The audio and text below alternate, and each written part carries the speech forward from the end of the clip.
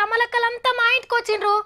సావిత్రి సావిత్రి మా ఇంట్లో నీళ్ళు చక్కగా వస్తలేవమ్మా. నువ్వు తీన్మార్ వార్తలు చదువుతావు కదా. ఒక్క పార ఆఫీసర్లకు ఫోన్ చేయవా? ఎమ్మటి నీళ్ళు ఇడిచి పెడతారు పోనీ ట్యాంకర్ అన్న పంపిస్తారు అని అడిగిండ్రు. అబ్బో నాకు అంత పతారు ఉందా? అని నేను మురిసిపోయాను అనుకున్నారు కదా. అయ్యో అక్కలు. మీకు నీళ్ళు వస్తలేవని నాకు చెప్పిండ్రు కానీ మా ఇంట్లో నీళ్ళు రాకనే రెండు దినాలు అవుతుంది నేనెవరికి చెప్పుకోవాలక్క? అని అన్నకంతే. మారు మాట్లాడకుండా మాయమైండ్రు. అబ్బో తీన్మార్ వార్తలు చదువుతున్నందుకే మా సావిత్రమ్మ గంత పోజు కొడుతున్నది. అసెంబ్లీలా నూట పంతొమ్మిది మంది ఎమ్మెల్యేలకు పెబ్బా స్పీకర్ సారు. ఆయన లెమ్మంటే లేవాలే కూసమ్మంటే కూసోవాలే. గంత పవర్ ఉన్న కొలువు. ఇక శాసన మండలిలా చైర్మన్ సామిగౌడ్ సారేమన్నా తక్కువనా?